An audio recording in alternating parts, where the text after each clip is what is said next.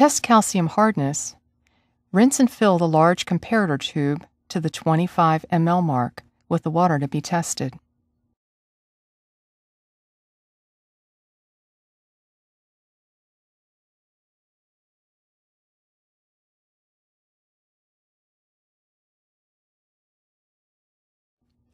Add 20 drops of reagent 10.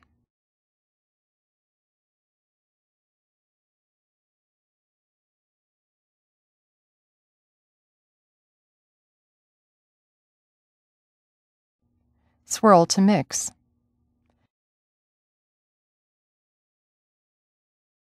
Add 5 drops of reagent 11L.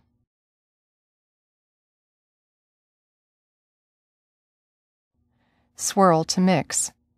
If calcium hardness is present, the sample will turn red.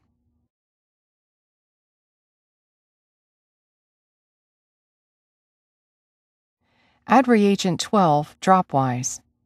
After each drop, count and swirl to mix until the color changes from red to blue. Add one more drop of titrant after the endpoint to be certain the color change is permanent. If the color remains unchanged, do not count this drop. Multiply the drops in the previous step by 10. Record as parts per million calcium hardness as calcium carbonate. When high calcium hardness is anticipated, this procedure may be used. Use a 10 ml sample, 10 drops of reagent 10,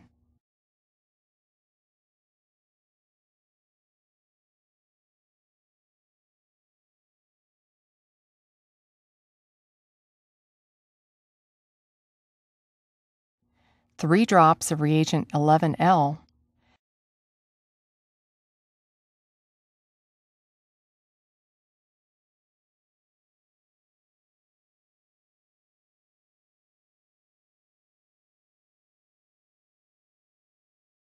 and multiply the number of reagent 12 drops used by 25.